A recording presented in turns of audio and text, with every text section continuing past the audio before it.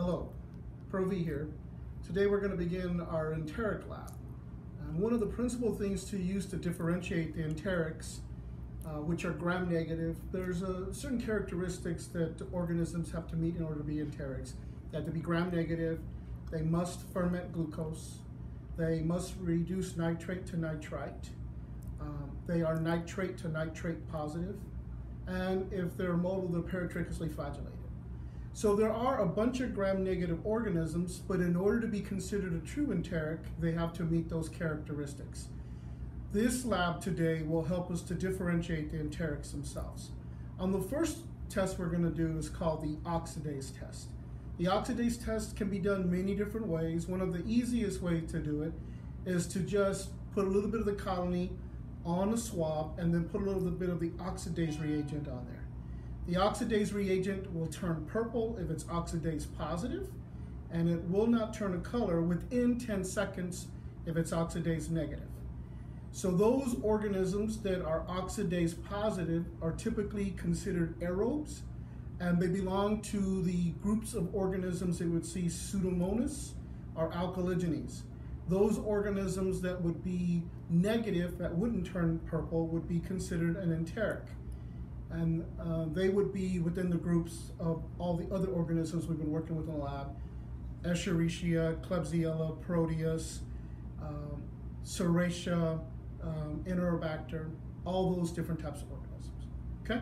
So first of all, be sure you have your PPE. I'm, I'm not wearing an apron, I'm gonna go ahead and wear my lab coat. I'm gonna go ahead and put my gloves on. And um, we do not have flames in this particular lab. So what we're going to be doing is using sterile uh, loops and other things like this to, to do and facilitate the labs. So I have cultures here of E. coli and Alcaligenes faecalis.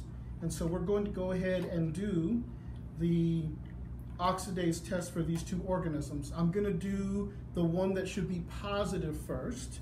So I'm gonna go ahead and place my safety glasses on, go ahead and take a sterile cotton applicator swab, come in here, come into and grab a little bit of the organism off the surface of the media. So I've got a little bit of the organism on the surface. Then come over here and put a little bit of the reagent. This is the oxidase reagent. Put a little bit of the reagent onto the organism itself. If it turns purple within 10 seconds and you can see it's already purple, then it's positive. I'm gonna go ahead and put this down here for just a second. Then I'm gonna go ahead and do the same test with a different swab for one that would be negative. And so this is going to be E. coli. So I'm gonna come in here, grab a little bit of the organism. You can see it's E. coli. Grab a little bit of the organism off the surface and I'm going to go ahead and place a little bit of the reagent on it, just like this. 1001, 1002, 1003, 1004, 1005, 1006, 1007, 1008, 1009, 1010.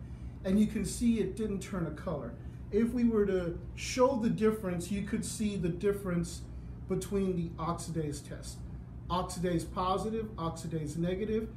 Oxidase positive means that it has certain types of enzymes in its metabolic schema that allow it to be positive, okay? So remember, enterics are going to be oxidase negative, non-enterics are going to be oxidase positive. I'll see you again next time.